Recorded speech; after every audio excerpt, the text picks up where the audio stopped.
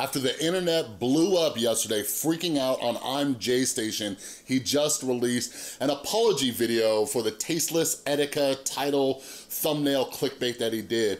But there's a lot that we need to discuss when it comes to this situation.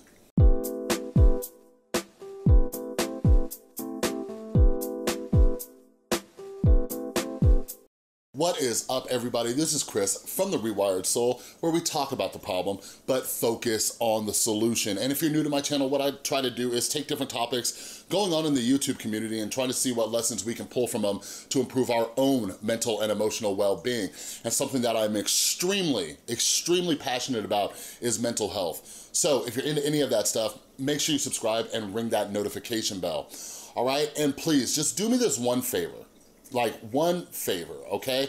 Like, please watch this video all the way through. I'm going to be talking about several different subjects that impact all of us. This isn't just like a hate video against ImJayStation about what he did with the whole Etika thing, but like, like we all need to discuss a few things, all right? So the first thing I wanna talk about when it comes to ImJayStation and why his apology video is is is missing the mark and he he doesn't get it. I don't think he's gonna get it for a while. But the major thing is empathy, all right? Like ImJayStation in his mind, in his in his brain, like he he feels like he's learned and he's he's gonna grow and everything. I'm gonna talk about that again later at this video. But anyways, like let's talk about empathy real quick, okay?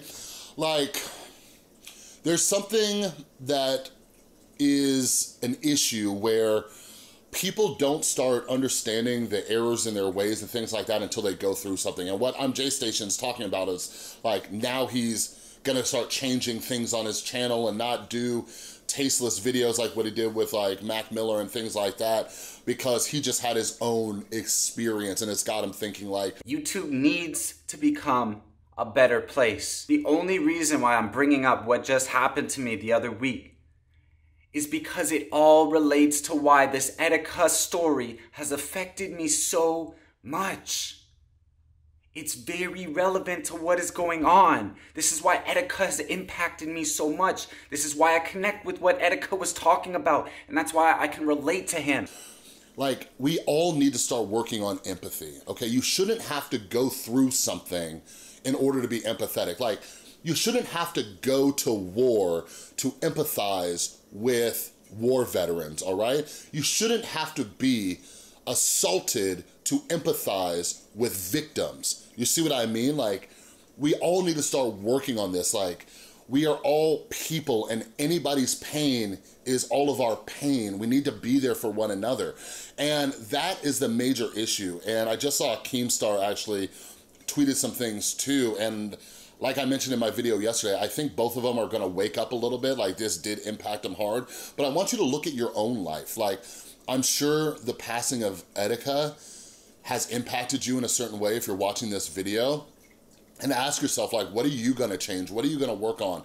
Right? If you just stumbled across this video for some reason like ask yourself how can you be more empathetic and understanding of other people's situations? So one of the things about depression i read a, I read a great book um, I think it was called The Brain Difference. But anyways, it talks about like the strengths that people have with certain mental illnesses, like anxiety and bipolar and depression and things like that. But anyways, people with depression are actually more empathetic, right? People who have been struggling with depression for years since they were kids, they're more empathetic because they know what that pain feels like. So when they see other people in pain, they understand what they're going through. So again, like it shouldn't take someone like JayStation or Keemstar to go through some experience like this in order to be empathetic. Now, real quick, I wanna touch on the fact that ImJayStation has donated, I think like almost $5,000 to Etika's fund so far, all right? And you know, like, I think you and I can both agree, ImJayStation is a D-bag okay? But it just, it, it just blows my mind. Like I was looking at the comments, I was like, how's this video received? Obviously, he's getting massive dislikes again. But people, like some of the top comments on there are like, um, quoting him saying like, I don't want to capitalize on, you know, Etika's death and things like that. And then they say like, oh, but he monetized this video. Like he donated 2,500, right? And then he donated 2,000 from his video yesterday. And he said he's going to donate the money from this new video to Etika's fund as well. So like, just like chill out just a second and just, you know, kind of recognize it. Like if you, like something I always try to live by, like don't become the thing that you hate, right? Like that is so important. Like if you are going to talk about how ImJayStation, you know, is ignorant and dumb and things like that. Like, don't do the same thing. Like, recognize that he has donated a bunch of money. Now, here's the issue with that though. Aside from everything else, like, money isn't the answer to everything. Like, you can't just say, well, I throw money at this thing, so I care more than you. Like, like money is not a good barometer for how much we care about things, right? Like, it would be unfair to say that Bill Gates is the only person who cares about social issues because he's donated like billions of dollars, you know? And I think that's something that ImJayStation needs to learn coming out on the other side of this thing is that money is not equal to how much you care right? So the next thing I wanna talk about is like why he did it, like why he did that whole video. Like he talks about in this new apology video, like he wanted as many clicks as possible and I get that. So that's why I titled it the same as the XXX video and the same as the Mac Miller video. Because I wanted everyone who hated it before to come and see this new one where I apologized about it.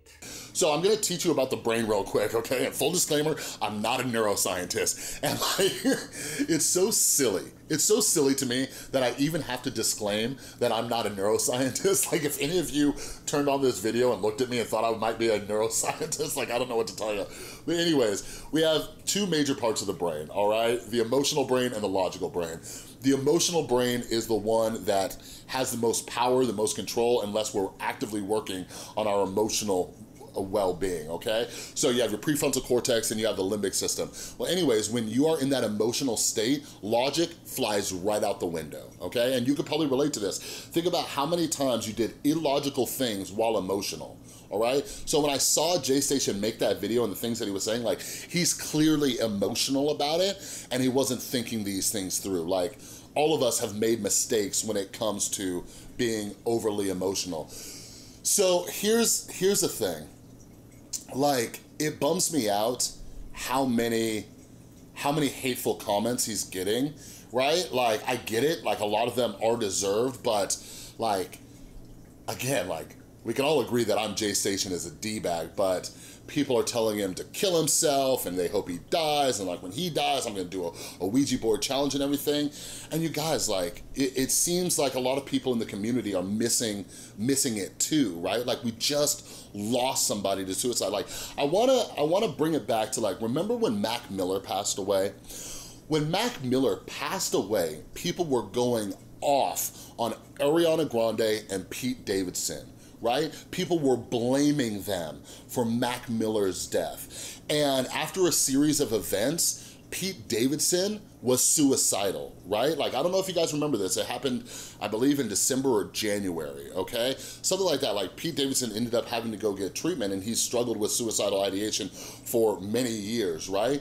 And, like, I just want you to think about that. Like, after we lost Mac Miller, we almost lost somebody else. So like, I don't want to come off all like Jake Paul and everything like that, but I, I want people to learn from these situations and just know like, this is real. Like this is real stuff. Like people get impacted. Like hate on ImJayStation like all you want, but like chill out, be careful, you know?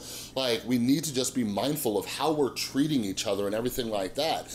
Um, but the last thing I want to talk about in this video is I I would hope that on the other side of this thing, you know, like ImJayStation, like learns more about mental health. Like you can't just throw money at organizations and think that that's gonna solve it. Like in my opinion, as somebody who has struggled with depression, addiction, you know, suicidal ideation, all these other things, like the part that got to me the most was just him in that emotional state talking about you're not depressed unless you're as depressed as Etika. And that is a bad message to be put out there, all right? So hopefully he learns more about mental health throughout this entire process. And as far as like forgiving him, like some people may never forgive him, but we all need to realize like it's gonna take time. Like we gotta see if the dude changes his ways. He swears that he's not gonna make any more tasteless videos right after somebody passes away, but we're not gonna know that. We're not gonna know that. Like the, we're, we're not gonna know probably for like six months, just following him and seeing how it's doing because people don't change overnight. So I just really hope that someone like Jay is really reflecting in this situation, taking in the feedback. But if he's going through this situation and not understanding why people are so upset and have been so upset at him for a long time, then I don't imagine him changing too much. But anyways, that's all I got for this video. If you like this video, please give it a thumbs up. If you're new, make sure you subscribe and ring that notification bell. And a huge, huge thank you to everybody supporting the channel over on Patreon. You guys are awesome. And I'll see you in the next one.